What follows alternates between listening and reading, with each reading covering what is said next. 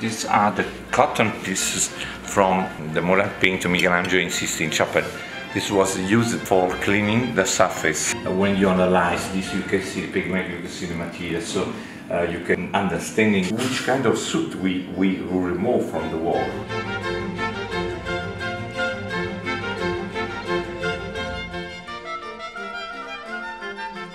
It's important to understand the techniques uh, for store, but also for understanding the methodology that in that uh, century uh, was used how Michelangelo works.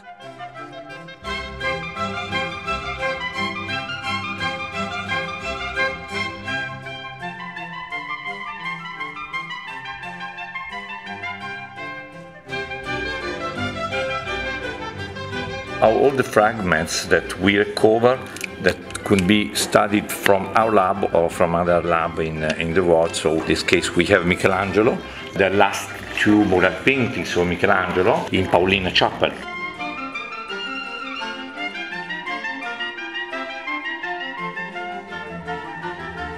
So you can see the pigments on the top, yeah? so come from the bottom and so uh, with the with the red pigments uh, on the on the top